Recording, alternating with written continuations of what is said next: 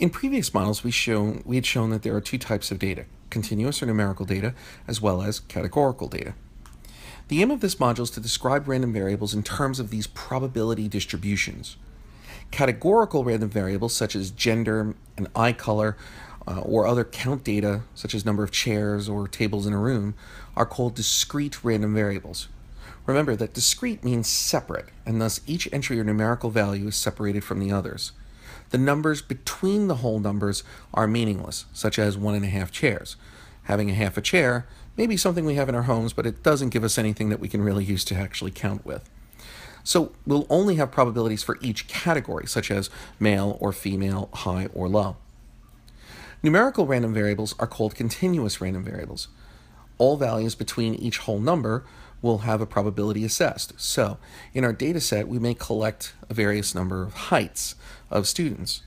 And we could actually calculate the probability of having someone with a 68.27 inch height, even though we may not have had such person of such data of such height in our data set.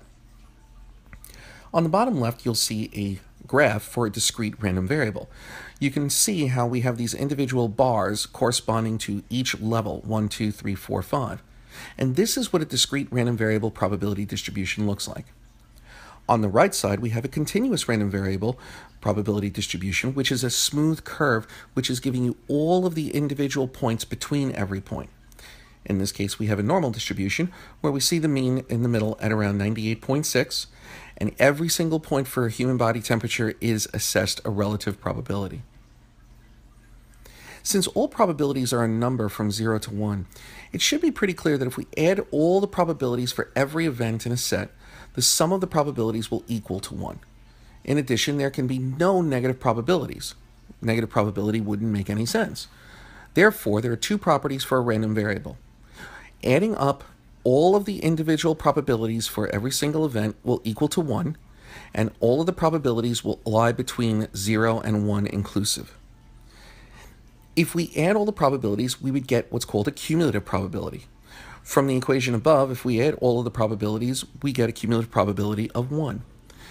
However, we can examine only cumulative probabilities for a smaller set of events, such as the cumulative probability of rolling a 1, 2, or 3 on a dice.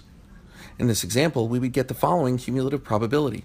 Probability of x equal to 1 is 1 sixth, of x equal 2 is 1 sixth, of x equal 3 is 1 sixth, which can mean that if we're looking for a cumulative probability, we're looking for the probability of 1, 2, or, th or 3, which is equal to the probability of x less than or equal to 3, which would sum up all of the cumul- all of the individual probabilities, giving us the cumulative probability of 1 half. One example of the cumulative probability distribution is the normal bell curve. On the left, we have a graphical example of our bell curve. For From the graph, if we draw a line at the mean, we can see that 50% of the curve is below the mean and 50% is above the mean. So we can say that the probability of x is that is less than mu, which is our population mean, is equal to 0.5, 50% below. On the right, what we then do is we can represent the cumulative probabilities of the normal distribution and it would look like this S curve. And the reason it looks like this S curve is because if you see the bottom part starts very low to zero, which means all of the values that are very low will have a very, very small chance of occurring. And as we get closer and closer and closer to a mean value, which in this case is denoted as zero, the red dashed line across represents the 0.50. 50% of the probability will lie to the left of the zero. As we continue to add more probabilities, the line will curve upward and it will basically be asymptotic or 10 to 1 at the very top, 1.0, as we continue getting more data to the right. So this is how a cumulative distribution might look. In a previous model, the concept of descriptive measures such as mean, variance, and standard deviation were shown. These measures can be expressed in terms of the probabilities of random variables. A mean is really an expected value, which we denote as E of x, the expected value of x. And it's classified or can be classified as the sum of weighted probabilities, especially in a discrete sense, which is what we're looking at here. Again, being discrete, we have the individual values of 1, 2, 3, 4, and 5.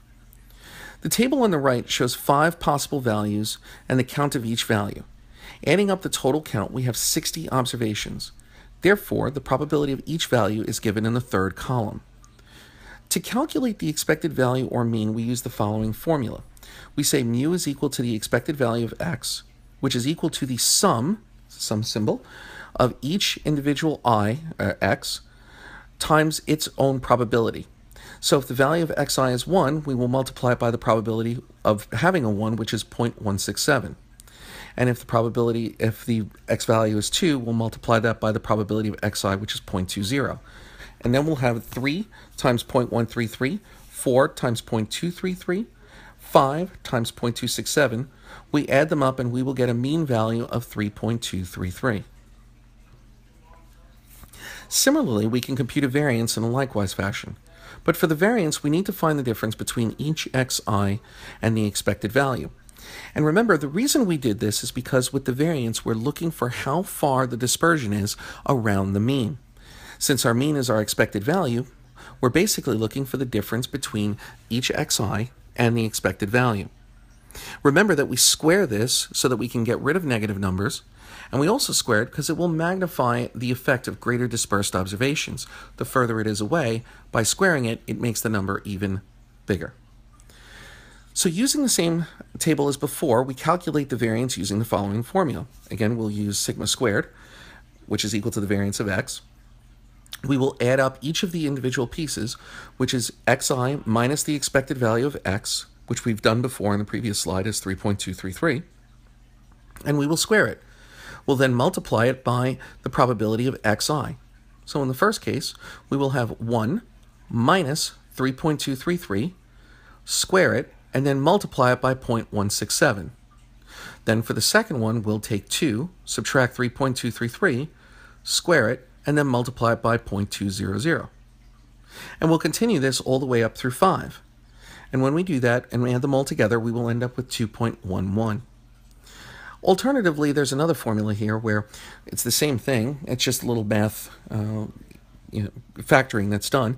We have the sum of each xi squared multiplied by the probability of that xi, and then we subtract the mu squared. We'll get the same answer, uh, but it's a little bit more mathematical and it's a little bit more, uh, it's actually a little bit more concise. However, again, we won't have to do this because Excel will actually do this for you. Now, the standard deviation is used again as a better measure for interpretation than the variance, and it's the same as it was in previous slides. It's simply the square root of the variance.